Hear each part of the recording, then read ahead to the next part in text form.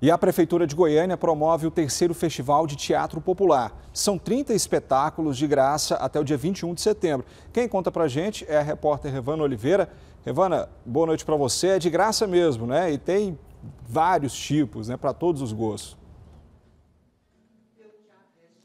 Isso mesmo, PH. Boa noite para você, boa noite a todos. São 30 espetáculos com 30 companhias de teatro diferentes. Agora nós estamos vendo, por exemplo, um ensaio com um espetáculo que vai começar daqui a pouquinho. Várias faces do humor com a companhia Mauri de Castro. Então a gente, quem está em casa, se quiser aproveitar, dá tempo ainda aqui no, no Teatro Cine Goiânia Ouro. O Zander Fábio, secretário de Cultura, está aqui com a gente para falar mais dessa programação. Muito boa noite. Vamos contar para o pessoal de casa então, o que nós teremos a partir de agora, nesses próximos 10 dias. Boa noite. Boa noite, boa noite a todos.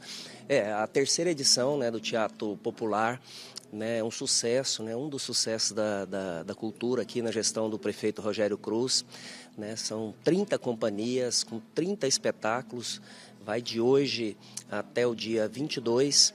Então, todos os dias, pela manhã, tarde e noite, além dos espetáculos, nós temos muitas oficinas. Pela manhã e à tarde são os espetáculos mais voltados para criança e à noite público adulto, né? Como é que as pessoas têm acesso à programação, onde elas podem retirar esse ingresso? Isso, a programação está na, na, nas mídias sociais, no Instagram, arroba Secult Goiânia e também ah, na Prefeitura de Goiânia, no arroba Prefeitura Municipal de Goiânia.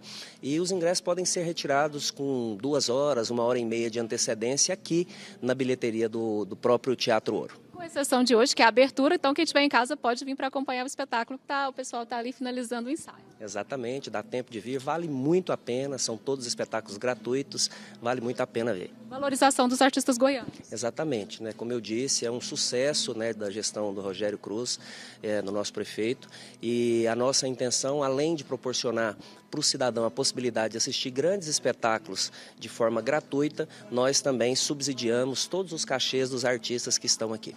Muito obrigada pela participação. A gente vai terminar mostrando um pouquinho ali da apresentação, que daqui a pouquinho quem estiver em casa vai poder acompanhar na íntegra. Então são espetáculos de vários estilos, tem para crianças, como o Zander acabou de falar.